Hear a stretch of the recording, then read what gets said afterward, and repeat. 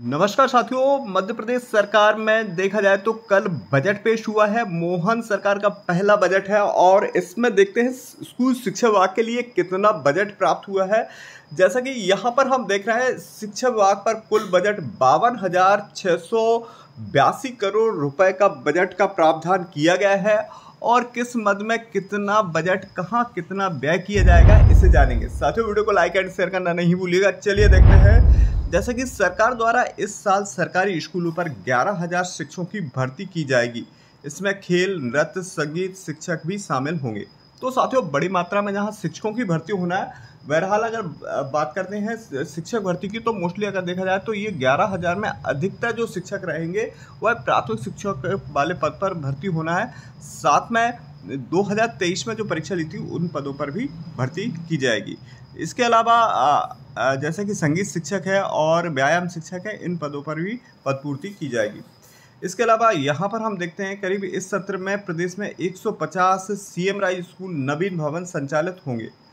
अभी तक प्रदेश में करीब 270 सीएम राय स्कूल सर्व सुविधा पूर्ण बनाए जा रहे हैं। सीएम राय स्कूलों में सर्व सुविधा बनाने हेतु करीब सत्ताईस करोड़ रुपए का बजट दिया गया है। वहीं अभी तक पाँच सौ बयासी पी एम श्री स्कूल चिन्हित किए गए हैं। इस बजट में प्रदेश में अगर देखा जाए तो 730 पीएम श्री स्कूल चिन्हित किया गया है। पीएम श्री स्कूल के रूप में विकसित करने के लिए करीब 225 करोड़ रुपए का बजट दिया गया है। साथियों, यहाँ पर हम बता देना चाह रहे हैं कि सीएम राज स्कूल और पीएम श्री स्कूल को विकसित किया जाना है और यह इन स्कूलों में वर्ल्ड क्लास की सुविधा दिया जाना है। साथ में यह स्कूल आवासीय रहेंगे और साथ में शिक्षकों को भी इसमें आवास मिलेगा। चलिए आगे देखते हैं। जैसे कि स्कूल शिक्षा विभाग में यह बजट मिला है।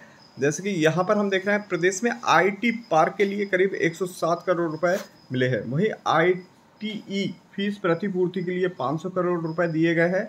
साइकिल वितरण योजना के लिए 310 करोड़ रुपए दिए गए हैं। अतिथि शिक्षकों को मानदेय के लिए 933 करोड़ रुपए दिए गए हैं।